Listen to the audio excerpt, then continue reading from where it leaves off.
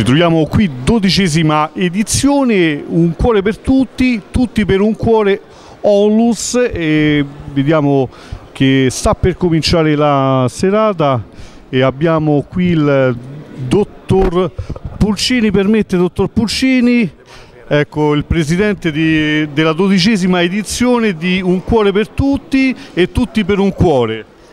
Eh beh, è un evento importante dedicato a tutti coloro che in silenzio ma con grande cuore e amore si dedicano a chi soffre.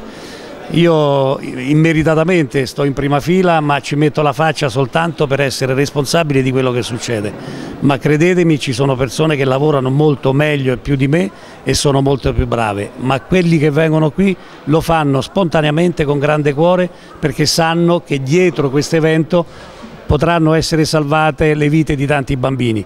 Ne nascono 800.000 ogni anno di bambini cardiopatici e purtroppo 600.000 non ce la fanno.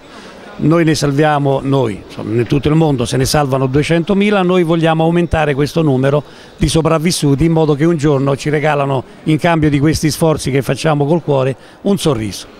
Ecco, come si sta preparando il tutto, a breve comincerà questa serata dove aderiscono tutti gli anni tantissimi artisti ma c'è veramente una gara e mi dispiace, li ringrazio quelli che partecipano, ma ringrazio e mi scuso con quelli che dobbiamo purtroppo escludere perché per motivi di tempo e di spazio eh, la scaletta è severa, specialmente qui chiudono alle 11 e non possiamo allungarci come facevamo magari gli altri anni.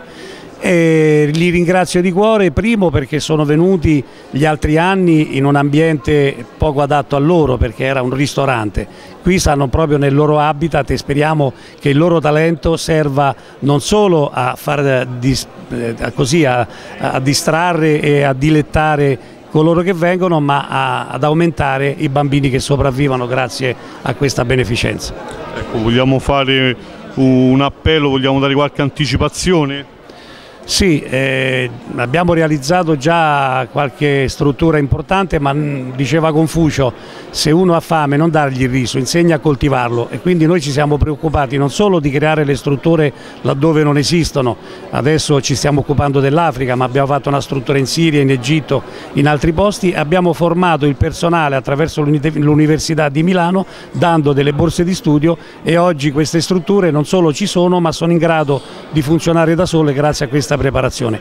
Qui abbiamo il professor Frigiola che è il vero motore, è colui che opera materialmente i bambini e ve lo volevo presentare. Adesso ecco, eh, ecco qui. Alessandro, Alessandro un'intervista per favore, appena poi. Eh. Ecco, la ringraziamo dottore di tutto quello che sa e state facendo.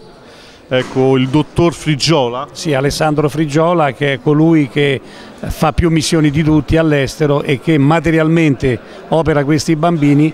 Eh, naturalmente i viaggi sono a carico nostro, non sono a carico dell'associazione, per cui eh, quello che ricaviamo lo diamo generosamente per creare strutture e formare personale.